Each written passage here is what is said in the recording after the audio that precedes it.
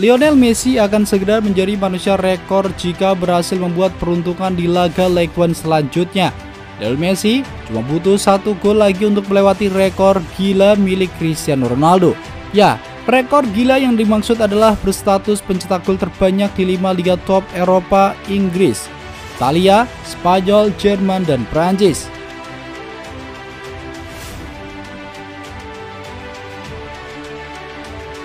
Sebelum musim 2022-2023 dimulai, Cristiano Ronaldo menyandang status di atas sendirian dengan 693 gol.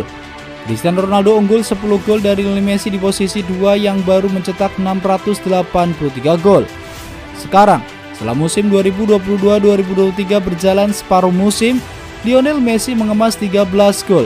Tambahan 13 gol milik Lionel Messi Jauh berbeda dengan Cristiano Ronaldo yang hanya mengemas 3 gol untuk Manchester United di paruh pertama musim 2022-2023.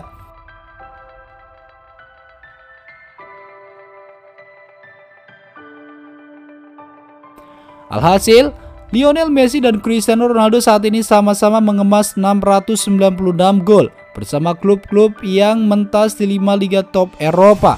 Cristiano Ronaldo mencatatkan mencetak 450 gol bersama Real Madrid, mencetak Manchester United 145 gol dan Juventus 101 gol. Sementara Lionel Messi mengemas 696 gol dengan rincian 672 bola di Barcelona dan 29 lainnya bersama Paris Saint-Germain. Berhubung Cristiano Ronaldo tak lagi mentas di 5 liga top Eropa, La Pulga berpeluang besar melewati rekor C7.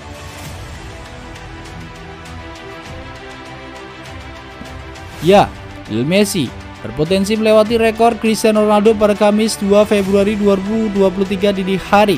Di tanggal tersebut, PSG akan bertandang ke markas Montpellier di lanjutan Liga Prancis 2022-2023. Sepak bola 35 tahun itu hanya membutuhkan tambahan satu bola untuk melewati rekor Cristiano Ronaldo. Karena itu, haruskah Cristiano Ronaldo balik ke Eropa untuk menjaga rekornya tetap aman? Pelatih Cristiano Ronaldo di Al Nassr Rudi Garcia sudah memberikan kode yang memastikan Cristiano Ronaldo tak akan pensiun di Al Nassr dan bahkan kembali ke Eropa. Cristiano Ronaldo tak akan menyelesaikan karir di Al Nassr, ia akan kembali ke Eropa, kata Rudi Garcia mengutip dari Mirror.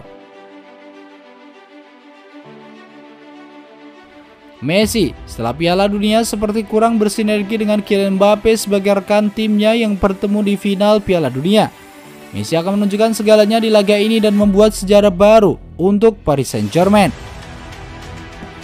Messi diprediksi akan mencetak hat-tricknya di laga ini dan bukan banyak assist untuk PSG. Jadi kalian apakah Messi akan membuat rekornya lagi?